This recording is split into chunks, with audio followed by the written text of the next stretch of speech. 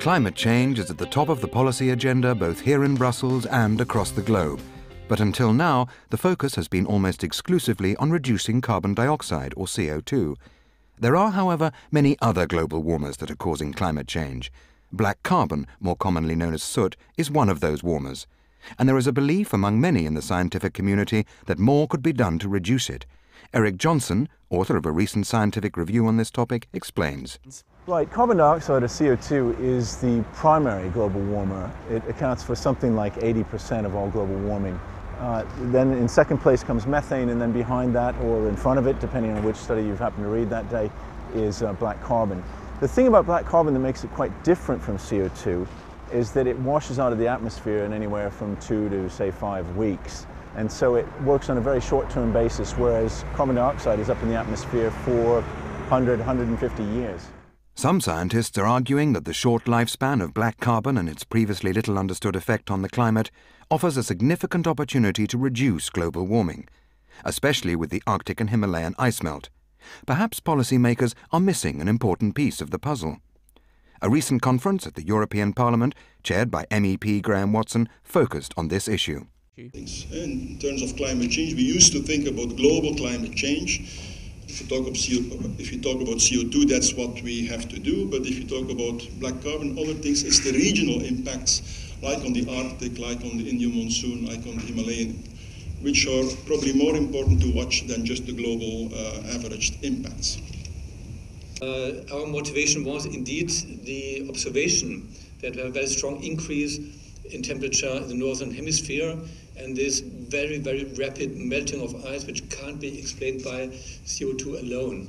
And interesting indeed is this correlation or this, this guess, this really educated guess, saying black carbon could be the main reason that we have this quick melting of Arctic ice. There are plenty of reasons to reduce emissions of black carbon, health, climate, uh, precipitation, all these things. And it would be, uh, well, certainly a non-regret policy measure to do. Uh, it would have uh, plenty of benefits. Question is, you know, what kinds of policies can we look at, maybe on a, on a global level, to deal with, uh, with black carbon, and where should the international community uh, focus its efforts? Um, firstly, there's an urgent need to still build the capacity of the science, not least in developing countries.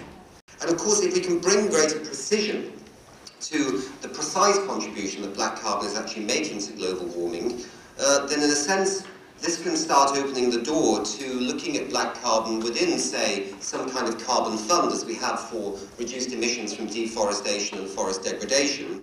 Despite this need for more focus on reducing black carbon, there has been a lack of political will among many policymakers, a fact that was noted by one of the attending MEPs.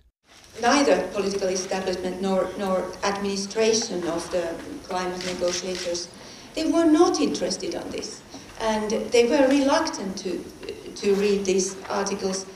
And I was wondering if there are some kind of ideological reasons behind this.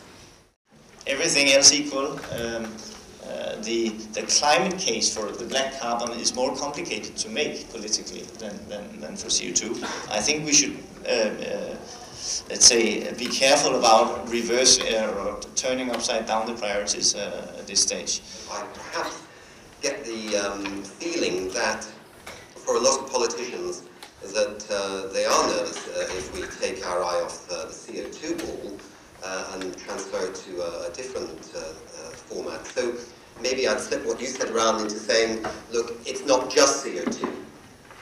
Um, and clearly, if we're going to actually deal with climate change, given the urgency of it and given how slow things are progressing on CO2, we probably need to bring everything into the, uh, the arsenal uh, of, uh, of, of, our weaponry to actually uh, combat climate change. With two further scientific assessments on the link between black carbon and climate change due to be released in the next year, there will no doubt be further calls from the scientific community to give this issue appropriate consideration in the policy response to climate change. However, some scientists believe that the time for action is right now.